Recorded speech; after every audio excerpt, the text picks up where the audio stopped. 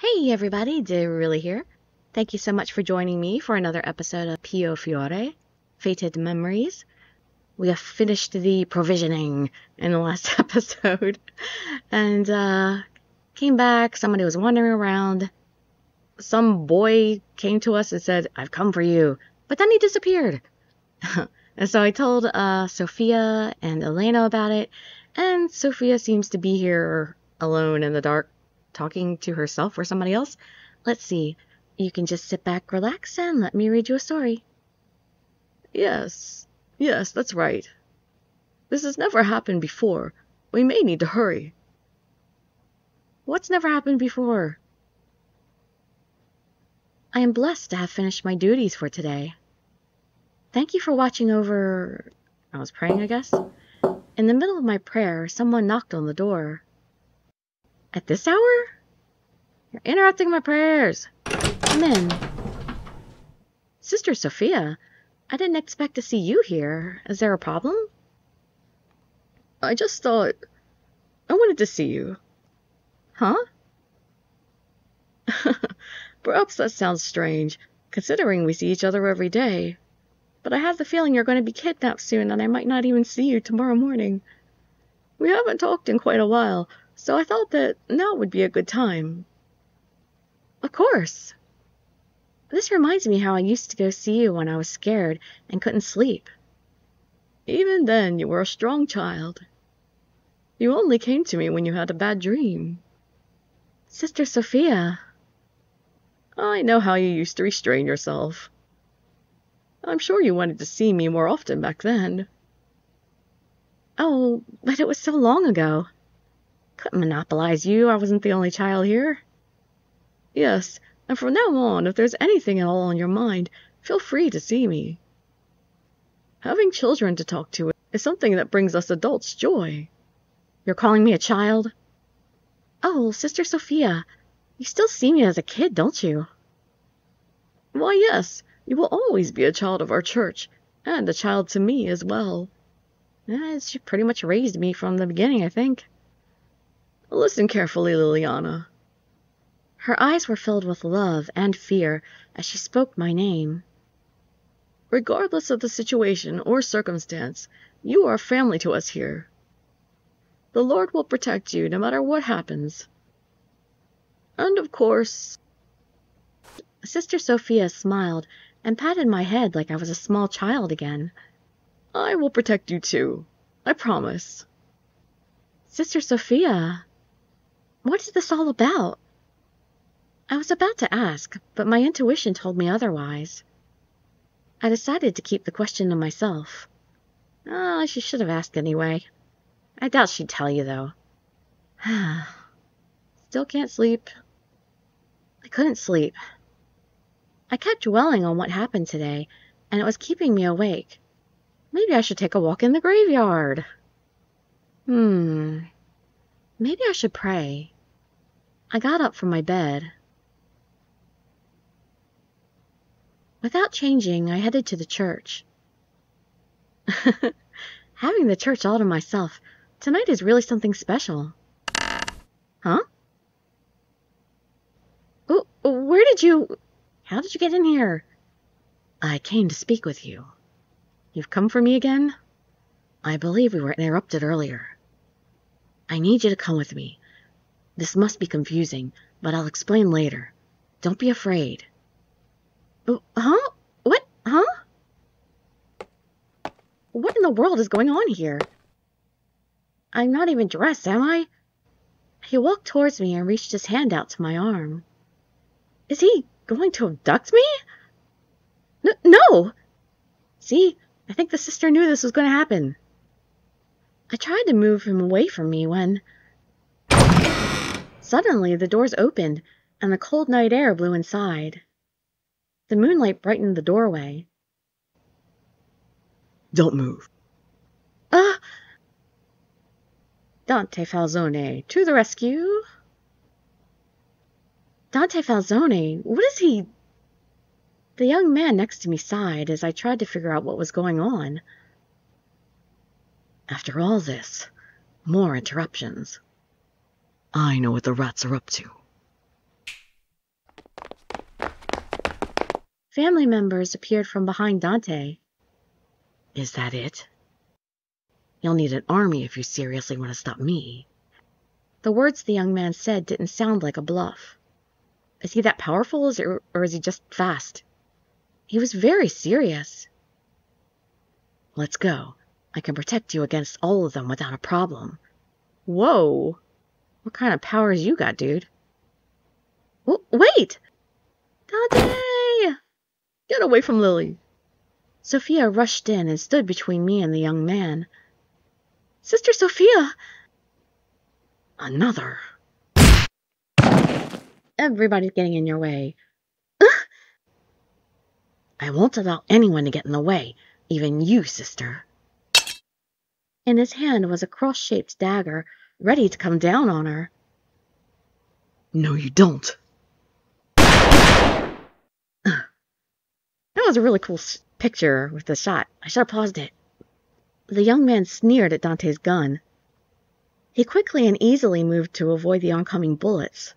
The gunshots resounded through the hall. A hit would have brought the young man down to the ground, but he continued to dodge them, seeking a way to come closer to me when. Over here. A voice jumped into my ears. Huh? How did you get over here? Without thinking, I reached out my hand.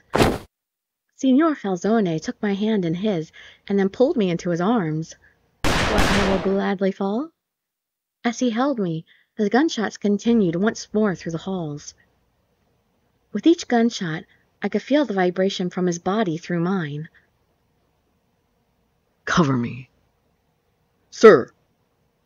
The members of the Falzone family directed their shots at the young man. Guess he really is just fast. We made our escape from the church. If he has powers, well, he hasn't manifested them here. Aside from dodging bullets, I mean, that's gotta be a power. Wait! Sister Sophia! As I screamed in sorrow, he looked at me sternly. His voice was cold when he spoke. Silence. He pushed me into a black car that was waiting along the road. He then jumped in and the car sped off. Well, what's going on? Nothing was making sense. It it was as if I had fallen asleep and I was having another bad dream like I used to. But the smell of gunpowder was so strong that I knew it couldn't be a dream. This wasn't a dream. I was forced to accept the new reality unfolding before me. Is he really not going to talk to me at all? We're just going to ride in silence in the back of this car here. Chapter 1 Ansia Ansia The car came to a stop in front of a manor in False, and I was ushered out. Is this the Falzone family's... Follow me. Without a second glance at me, he began to walk ahead. Coming. Hmm. I was so confused, but had little choice than to follow him. We ascended the red carpeted stairs and finally stopped at the end of the corridor. Oh. This is your room. It's really quite nice. Much better than my dingy little dungeon room. My room? The door leads to the bath. It's only accessible through there. Feel free to use what you need here. If you require anything else, you can call for the housemaid. W wait, just a moment. What is it? Right. I have one of my men standing to guard you. He'll be at your disposal. So it doesn't sound like I'm being held captive exactly. Guard? If you're not satisfied with him, he can be replaced. Uh, that's not important. Hmm? Am I really going to be staying here? You, you can't just decide that. You just grab me and put me in a room and be like, you're staying here. What about my house? What about my things? Well, you know, not house, but the place I was staying in. he gave me a heavy sigh and spoke to me in a dismissive way. Is that even a question? Yes. Uh, of course it's a question. it's like, can't I just Put a girl in a safe room and not have her ask questions for once? Oh, for goodness sake. Th there's no need to sigh like that. An irritated frown came across his face, but I couldn't keep quiet any longer. Someone comes to abduct me, then you appear out of nowhere, and a gunfight breaks out at the church. Now you bring me here, and you still can't provide me with a simple explanation. Do you honestly expect me to understand what's going on? Of course not. Now that I think back, maybe reaching my hand out to him was a mistake. Well, I mean, you were looking for protection, you were scared. I felt a wave of dread come over me. And, you know, Dante was more familiar. The other guy was a complete stranger. Liliana Adornato, you were attacked at the church, correct? Well, not exactly attacked. Yes, that's right. If you had stayed, do you think things would have gone better? Well, I suppose not. We need to determine who is behind the attack before they strike again. Until we figure things out, you need to stay hiding away from the church. Wait, so you brought me here to protect me? I thought that was clear. Not exactly. It was all very confusing. Uh. Anything else? How did you know I was in trouble? And was I even actually in trouble? I did have another question. Let's see. Why did you save me? How did you know I needed saving? So, why did you save me? I was merely there by coincidence. I don't believe in coincidences. By coincidence? Um, really? So, it was coincidence that you and your men were at the church at that precise moment. yes, it was. I cannot put it any other way. Is there a problem with someone like myself taking a nighttime stroll? No, but coming into a church that should have been locked in the first place. Maybe. Uh, I couldn't say anything in objection. Are we finished? If so, go to sleep. Wait, I still have. I'll only say this once. I'm a busy man with no time to spare for you. well, if you're going to be rude, you may as well have not saved me after all. His harsh words dug deep into whatever hope I had left. Then he walked out of the room. He didn't even look back. the room was adorned with lavish furniture, far finer than I had ever seen before. Staying in such a room was a once in a lifetime chance for someone like myself. But that didn't make me feel any better. Who was that trying to abduct me? I hope Sister Sophia is all right. I wonder if everyone else is safe. And how did Dante Falzone happen to be there? And why did he bring me here? If he wanted to offer me protection, he could have left me with the police. The Falzone family is on good terms with the authorities. There's no reason they'd avoid them. Well, they may have doubts about the police's ability to protect me, depending on who's trying to kidnap me. Even after going to bed, my mind still raced. Plus, you're in a new place. It's really hard to sleep in a bed that's not your own. I mean, at least for me. Images played over and over in my mind. The haunting fact that I had almost been kidnapped sent a chill down my spine. I doubt I'll be able to sleep tonight. Did I? As expected, my eyes were painfully heavy the next morning. So cold. The fluffy blanket should have kept me warm, but I could tell my hands and feet were cold. I wouldn't mind something warm to drink, and maybe a change of clothes, maybe some slippers, some other things that I that he neglected to provide for me maybe. I looked at the door to my room.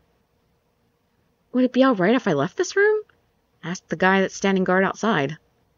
I thought about it for a moment, trying to recollect what Signor Falzone said.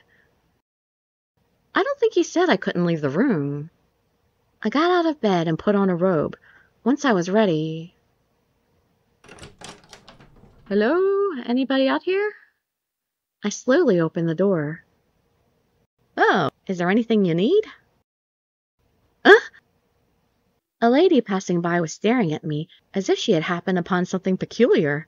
Are you the guard? Oh, I'm sorry.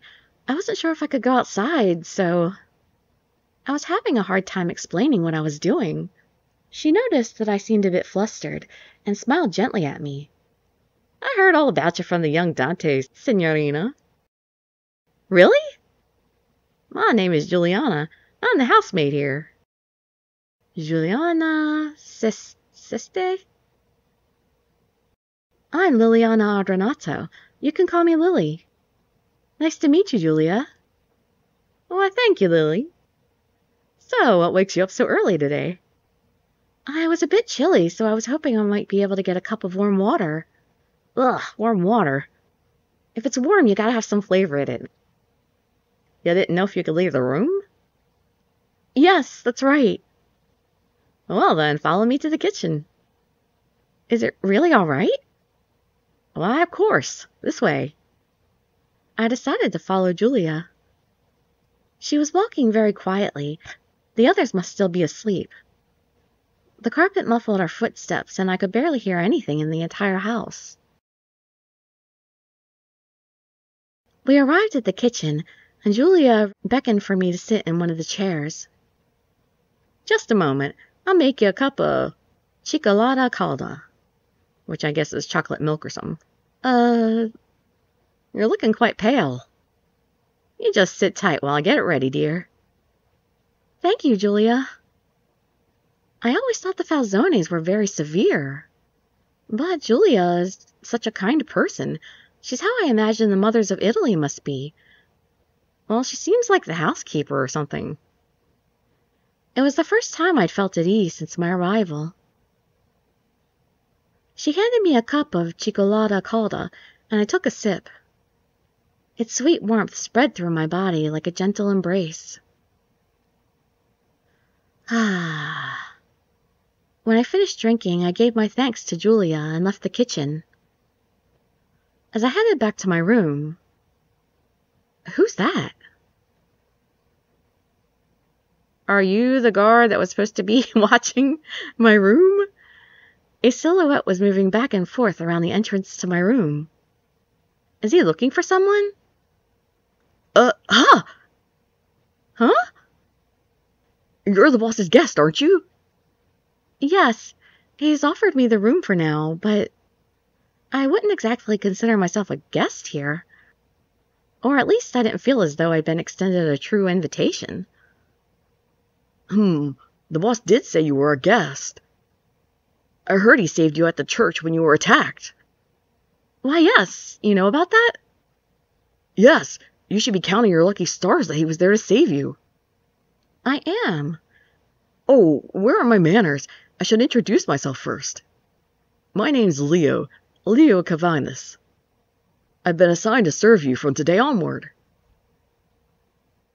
Leo Cavanus.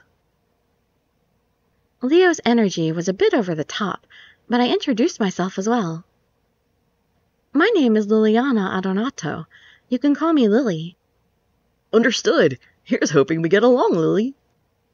He's so cute. I don't think he's an option, though. I would prefer him over the, uh, heterochromia dude. His bright smile had me quite taken aback. Yes, it's a pleasure to meet you. A soft chuckle escaped me, seeing his bright and energetic disposition. Well, no use standing around here. Please, right this way. He ushered me back inside my room. Tell me, are there clothes? Now then, let me explain a bit more about how things work here. First, I'll be bringing your meals to your room every day. Ah, room service. Sounds great. Are you sure about that? It would be far too much work. Well, the maids could do that too, but for the time being, I'll take care of it. But what if I want to eat with the rest of the mafiosos? After all, the boss told me to ensure your safety first and foremost. Not that I think anything bad would happen on the way from the kitchen to here, but better safe than sorry, as they say. Keep eyes on me at all times. If you need anything, call for me, or you can call for the boss or Nicola. I have lots of options. Nicola. He's here too? Oh, do you know him? Leo's words sparked my memory. He picked up a lemon for me. Glad to hear that. That smile of yours is well worth the effort. Well, be careful. I wasn't careful, and he ended up here. Yes, I've spoken with him. He was kind enough to help me in town. That's so like Nicola. He's very kind to girls. And only girls? Probably. Wait, why did you mention his name? Huh? Well, he's the boss's go-to guy. So they're good friends? Come to think of it, I recall seeing them together at church too. You say friend. I say right-hand man. He's our underboss. Underboss? Is that the consiglione or whatever it was? I don't know what all the terms are. I was surprised to hear something unexpected come out so casually. He must be very important here. Oh, you didn't know? Suppose he doesn't really like talking about it. Well, we only met for a couple minutes. It's not like there was time for full introductions or ex explanations. Of course, he's well known with the police and other organizations out there. Out here. Well, Nicola is the boss's cousin, so he's basically number two of the Falzone's lineup. I see. So what, he's the next in line for leadership? Roberto was very aggressive toward Nicola back in town. Now I understand why Roberto acted that way. After all, encountering someone as high up as Nicola could easily turn contentious. Hmm? Who's there? Uh. Leo went to the door and opened it to see who was outside. Ah, Leo. Perfect timing. No, you had the perfect timing. We were just speaking of you. As they say, speak of the devil. Ugh. With a surprised look on his face, Leo quickly opened the door wide. It was such a coincidence. With a smile on his face, the very person we were discussing came in. Nicola Francesca. Yes, haven't we already been introduced? Good day, Liliana Adornato. Welcome to our family. Signore Francesca. Maybe it was because I just learned he was the Falzone's underboss. I already felt tense in front of him. Did you feel tense before? Come now, none of the signor business. Just call me Nicola. Um. Okay. Understood. But if that's the case, please call me Lily. Nicola smiled at my ready acceptance. Actually, he had been smiling ever since stepping into the room, but something didn't feel quite right. Hmm? Hmm. Is there something on my face? Ah, uh, some very pretty eyes? Nicola asked me curiously. Let's see. You seem happy, is what I have to say because he probably is faking it, but I can't say that unless someone is around. Can't call him on it. Or I might accidentally date him instead. No, it's just that you seem quite happy. Why wouldn't I be happy? A cute girl like yourself has graced us with her presence. It sounds like he's playing with me. I didn't come here because I wanted to. I certainly knew that. Sorry, I thought I might cheer you up. But it seems I've gone a bit too far. Ah. So, let me jump right into business. I know it's still very early, but there are a few things we need to go over. I'd like ground rules. I hope you don't mind. Not at all. Please don't worry. I'm wide awake now. I didn't sleep at all last night. I want to know what's going on. Everything's happened so quickly. I can only imagine what you're going through. Yesterday you were attacked at the church and placed under Dante's protection. This will be relayed to everyone here by tonight. Until then, we'd like to ask that you please stay in your room. We wish to avoid any misunderstandings. Oh, but we'll make sure this will be easy for you. If you need anything, don't be afraid to ask. Ah. hmm. I should be as honest with them as possible. I'm sorry, but I've stepped outside the room already. I wanted to have something warm to drink, and I met Julia in the hallway. She took me to the kitchen this morning. Ah, you're getting Leo in trouble. Did you encounter anyone else? No, not even Leo guarding the room. No. Then it won't be a problem. Next time I'd appreciate it if you would let us know first. Well, if there was anybody out there, I would have, but they weren't. Yes, I apologize. Now then, I need to take care of some other business. Uh, you must be very busy. Well, Arca has never had an incident where the church was attacked after all. It just means that the Falzone have a lot more to do now. Uh, may I ask you something, Nicola? I looked at him cautiously. What happened at the church? How's Sister Sophia doing? I'm worried about whether everyone's safe. I'm sorry, but I can't answer that. I need Dante's approval before discussing what happened there. You can't at least tell me if Sister Sophia's okay? Was she accidentally shot at all? We always follow the orders of our boss. To that end, we also haven't notified the sisters that you've been brought here. Why? But at least let the sisters know I'm okay. Something. We can't risk information being leaked now. All they know about is the attack itself, and that you disappeared. But I didn't expect them to hide my whereabouts. Why hide that I'm safe? They couldn't even disclose that information to the sisters?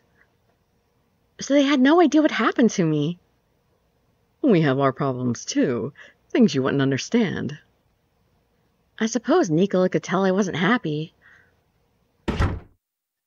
He shared as much as he could, but ended up leaving the room with a frown on his face. Ugh. Leo looked on, worried, but with Nicola's departure he began to speak again. To pick up where I left off, I'll do what I can for you. I'll be around you constantly, but I hope you understand it's because I'm your bodyguard. Yeah, of course. I wouldn't expect that it's because, like, you're stalking me or anything. Yes, I understand. It is your job, after all. With so much time to spend thinking by myself. I understand. It can be tough being alone. Yes, so I'd be happy if I could get to know you better, Leo. Or is that too much to ask from someone who will be guarding me? Well, we might as well talk if we're going to be alone together all the time. Absolutely not. I'm here for you. Wouldn't that be like a totally natural route if he's going to be my bodyguard? Thank you, Leo. I was glad Leo was so approachable, despite being a member of the Falzone family. It's a good thing Leo was assigned to me. Well, let me go and get your breakfast. Julia's cooking the best there is. Yes, the cioccolata calda she made this morning was delicious. Wait, okay, there's some kind of meanwhile story going on. Wait, telephone back? What is this? Oh, oh, no! Did I do the right thing? Oh, I have no idea what voice to use. What's happened? It's unusual to hear from you like this. It's about the Lao Shu. I'm assuming it's urgent. Hmm. The door opened without warning. There was only one person who would be able to get away with that. I nodded at him to wait. Nicola looked back with a grin on his face. Yes, I need to talk to you today. Got it. Got it. I'll be there tonight. Let's say 10 o'clock. I'll be in my office. Let me know if you'll be late. And the police may want to increase their patrols around Arca. Let's talk about it tonight. See ya.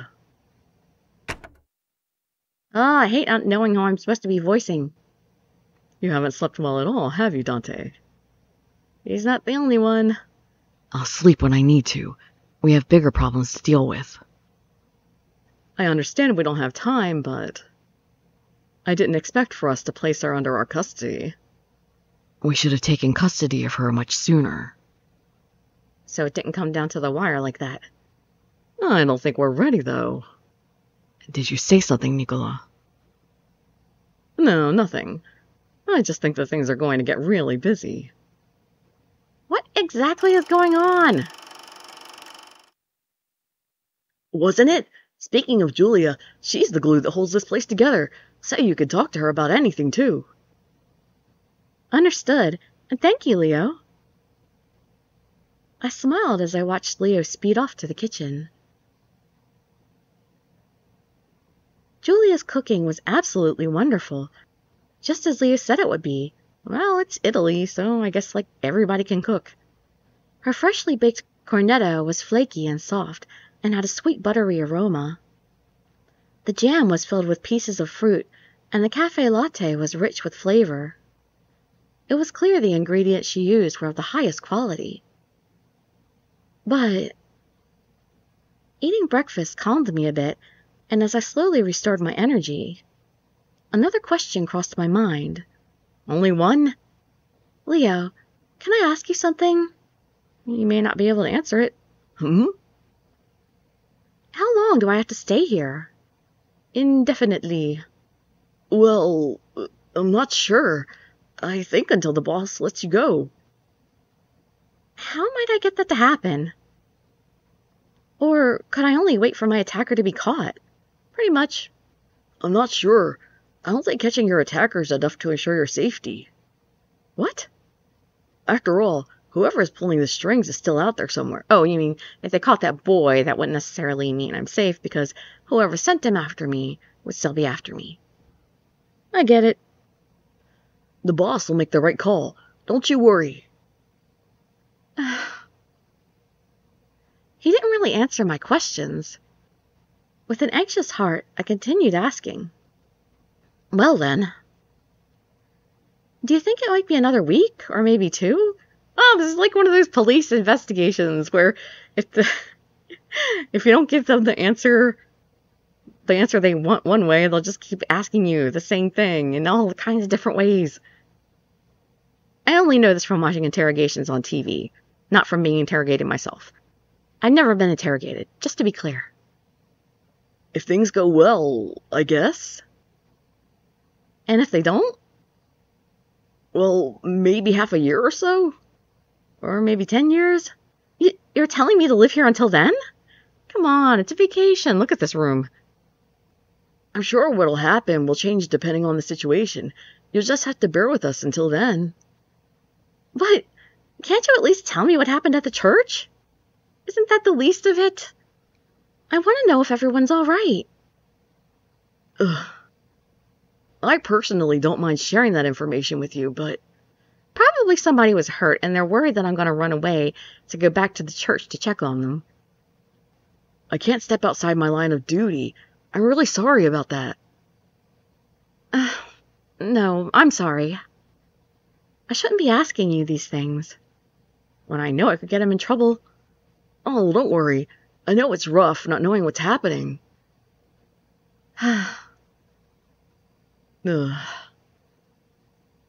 well, let me find Nicola and ask him if I can share any details with you.